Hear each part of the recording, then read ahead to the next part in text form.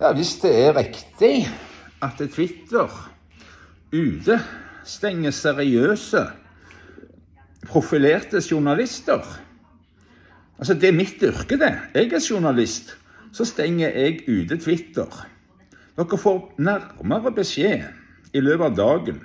Jeg trodde Musk var for, ytringsfrihet, og nå vil altså han sensurere journalister. Som sannsynligvis skriver litt negativt om, uh, om han, om ADHD-en hans og ja, Ikke vits i å være så veldig negative. Men Musk, du har sluppet til en som vil ha statskupp, og så nekter du seriøse journalister. Altså, Si opp Twitter hvis dette skjer. Da må alle slette Twitter. Protester mot Twitter. Det går ikke an å holde på sånt.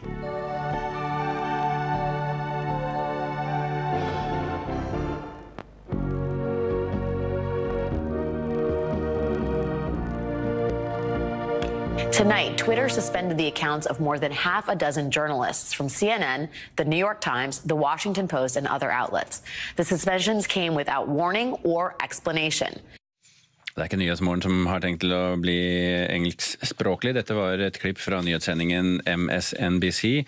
Flere journalister er nemlig utestengt fra Twitter. Kulturreporter Muneve Gildis, eh, hvem er disse journalistene? Eh, de som, eh, blant de som ikke lenger kan være på Twitter, er Washington Post-reporter Drew Harwell, den uavhengige journalisten eh, Aaron Rooper, Ryan Mack i New York Times og CNNs Danny O'Sullivan, og en rekke andre profilerte journalister. Og Harwells siste tweet handlet ifølge Darcy om at Twitter har utestengt kontoen til det sosiale mediet Mastodon, som kan ses på som en konkurrent til Twitter. Hvorfor skjer alt dette akkurat nå?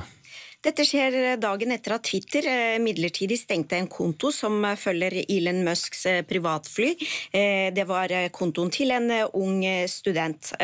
Kort tid etter opplyste selskapet at de har endret sine retningslinjer for å begrense adgangen til å dele andres lokasjoner på Twitter. Men er det noe felles disse journalistene imellom som gjør at akkurat de er plukket ut? Ja, eh, flere av eh, de journalistene som eh, nå ikke er på Twitter lenger, de, er, de hadde skrevet om de nye retningslinjene og Musks begrunnelse for å innføre dem. Og Elon Musk har tidligere omtalt seg som en ytringsfrihetsfundamentalist og har tvitret at han håper at alle hans fremste kritikere fortsetter å være på Twitter, og disse journalistene som nå er utestengt, de regnes som blant hans kritikere. Mm. Men uh, Twitter eller Elon Musk, har de uh har de kommentert dette på noe vis? Ja, han har tvitret. For på Twitter skriver Musk at uh, de journalistene som er suspendert nå, de, de, la ut hans eksakte sanntidsposisjon, og at dette er direkte brudd på retningslinjene til Twitter. Uh, han sier blant annet Etter at han hadde endret retningslinjene? ja, ja. De la ut min eksakte sanntidsposisjon. Det er direkte brudd på retningslinjene til Twitter, tvitrer han. Og så legger han til at å kritisere meg hele dagen lang, det er helt greit, men å dokse min samtidsposisjon og sette familien min i fare, det er ikke greit. For og doksing, det betyr å avsløre privat informasjon. Eh, og da sier han jo rett ut, dokser du, blir du utestengt. Sånn er det. Som eh, sier en av verdens rikeste personer. Mm, som ikke er den rikeste lenger, men en av dem. Eh, ja, fint. Eh, takk skal du ha. Eller kanskje et spørsmål til før du forlater oss helt. Eh, hvor lenge skal de være utestengt? Eh, ja, Ifølge Musk så er journalistene utestengt i sju dager, som gjelder for eh, oss alle sammen.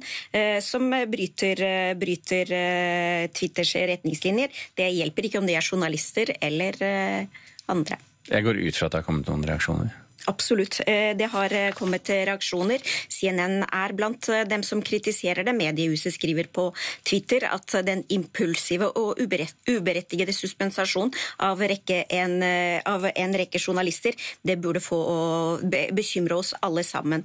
Og redaktør Charlie Statlander i New York Times kaller, kaller utestengelsene for uheldige. Ok, takk skal du ha. Munever Ilis. Altså Nå har vi jo kommet i en sånn situasjon at nå må jo noe, noe gjøres, da.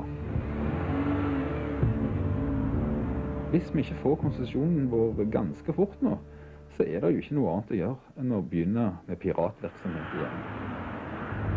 Et godt sted ligger høyt og har utsikt til mange potensielle seere. Hvis eh, vi står overfor et mobilt, en mobil sender. da har vi jo et lite problem, da. Og, og, da kan det bli aktuelt, vil jeg tippe på, i ekstreme tilfeller, å tilkalle forsterkninger. Det var jo sånn de jobba under krigen òg, for å finne disse her eh, sabotørene. Like så viktig som uh, plasseringen høyde er det vel egentlig òg å ha mulighet til å komme seg vekk. Kan du kjøre nok der? Ja, kan få kjøre forbi det som fremgår denne kringkastingsloven, det er bøter eller fengsel inntil seks måneder for overtredelse av denne loven. Det ideelle sendestedet det har mange fluktveier og ligger høyt oppe. Det jeg tenkte vi skulle kjøre nå, det har ikke det, så det er risikoen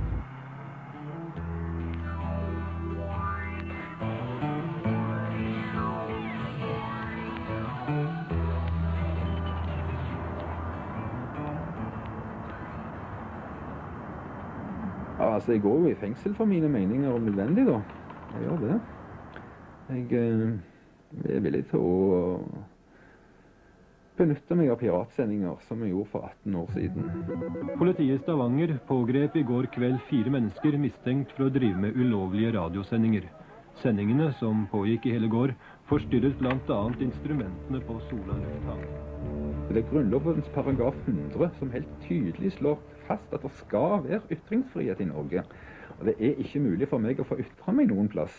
Riktignok får jeg lov å si dette inn i dette kameraet her. Men det er òg første gang jeg får lov å snakke til et kamera på over to år, faktisk. det. Er jo selvfølgelig umulig for hver mann å ha sin egen TV-kanal, for at du skal jo fylle den sendetiden med programmer da. Og derfor oppretter vi ETV. Alle som kom til TV med programmer, de fikk disse programmene sendt. Omtrent etter modell fra amerikansk Access TV. God ettermiddag. Her er lørdagens nyheter. 100 beltevogner.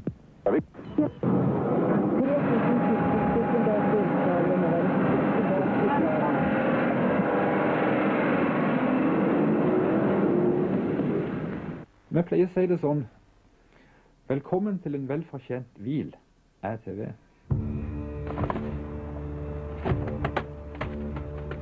Da er det veldig greit for folk som gjerne bare lager et program i uken, eller kanskje de har laget et program i året, å kunne gå en plass og få sendt det programmet uten selv å måtte søke konsesjon. Evangeliesenteret tror jeg sevner TV veldig mye. De har uh, gitt skriftlig uttalelse for at vi faktisk har redda en del liv gjennom våre sendinger. Det er jo deres programmer vi har sendt, da, men uh, uten ETV så hadde de aldri blitt sendt. Og folk som da har uh, tenkt å begå selvmord, har da ved to anledninger, sier de, ombestemt seg etter å ha sett programmene på ETV.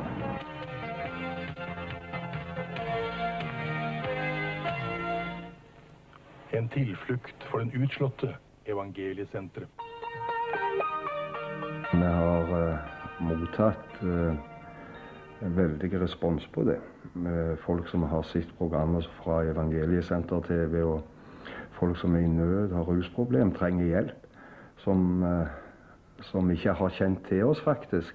Men de har blitt kjent med oss med gjennom TV. Da. Og, da er vi jo veldig takknemlige hvis vi kan få sende dette gratis. Sånn at vi når folk som er i nød. Det er jo det vi ønsker. Vi ønsker jo ikke å, å, å være på TV for vår egen skyld, for oss å si det sånn. Her inne her har det skjedd mye galskap. Her har vi hatt uh, et helt band. Hele ingenting hadde vi her med ja, hele bandet med instrumenter, og vi gjorde en trekameraproduksjon, så det var tre kameramann i dette lille lokalet her.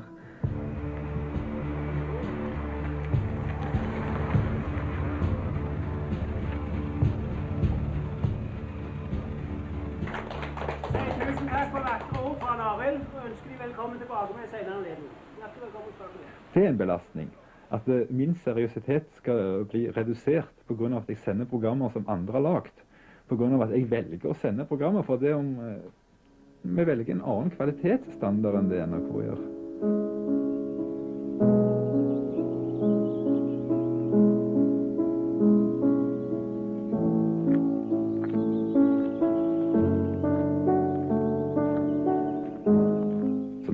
Lage gode ting hvis vi først vil. Men det vil helst stort sett være at vi ikke vil lage sånne dynamiske tresekundersklipp. sekunders klipp. Vi vil ha litt lange klipp. Vi vil at folk skal få lov å snakke ut. Vi vil ikke klippe sånn sannheten. Vi vil at folk skal få snakke til punktum og få utdype sannheten. Og da blir det gjerne litt langt. Men det er bedre det enn at du sitter med 30 sekunder med løgn.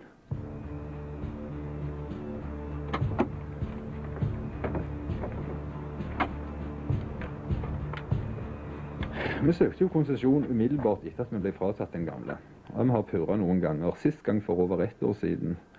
Jeg har ringt en del ganger. Det kommer aldri noe svar fra Statens medieforvaltning. Så de trenerer saken og nekter eh, å besvare telefonen.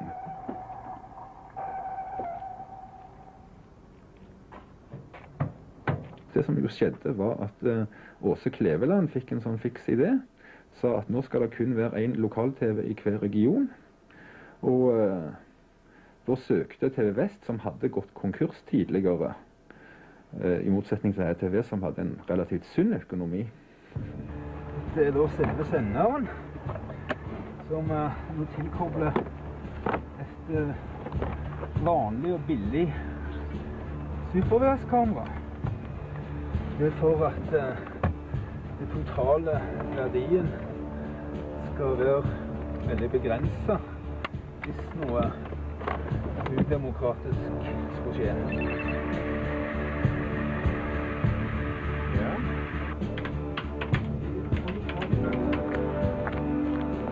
Hvis uh, plutselig TV Vest begynte å stille seg åpen til å motta innslag fra absolutt alle, at til og med jeg kunne komme med der med en teip og få den sendt, så tror jeg nok at interessen min for å drive og kjempe mot monopolene ville være veldig redusert.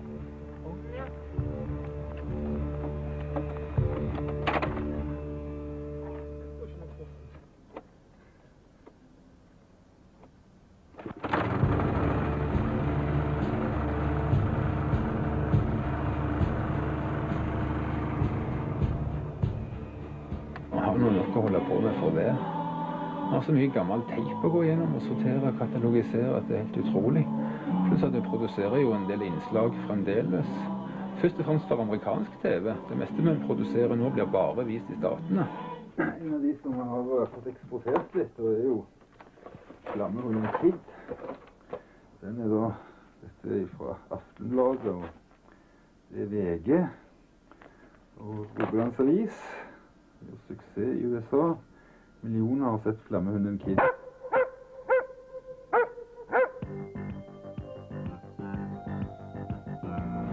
Så er det bare slå på. Slå på strømmen på videospilleren. Og slå på strømmen på senderen.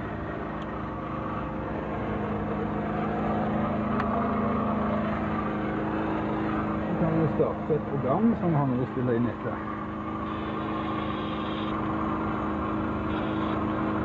Det var NRK, nei det var TV 2.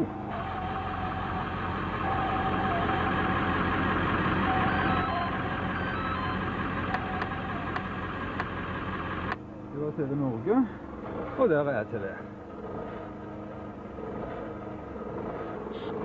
Ja, det kribler jo alltid litt i magen. Det medfører jo alltid en viss risiko å sende pirat-TV. Så eh, det er klart, jeg har jo alltid en viss nervøsitet for at noen skal komme og kjøre opp veien her, da. Nei, ytringsfrihet er for viktig til at vi ikke skal ta sjansen. Og jeg syns jo at offeret er ikke så stort, da. Og det er litt slit, altså. Det er klart det er en belastning, men uh, sånn i forhold til utbytte så er ikke offeret for stort. Straffen er ikke streng, men bøtene er høye. For å si det sånt. Men så er det jo dette her med at vi skal følge våre lands lover. Men så, så vet jeg fra Bibelen at det hendte at, eh, at disiplene òg brøt loven. Og, og når fariseerne skulle ta dem, så forsvarte Jesus dem. Så eh, Jeg går ut ifra at eh, hvis jeg skulle bli fengsla, at Amnesty International har tenkt å engasjere seg i den saken. Så eh, jeg regner ikke med at de blir sittende inne i fengsel så veldig lenge. Men tar gjerne sjansen.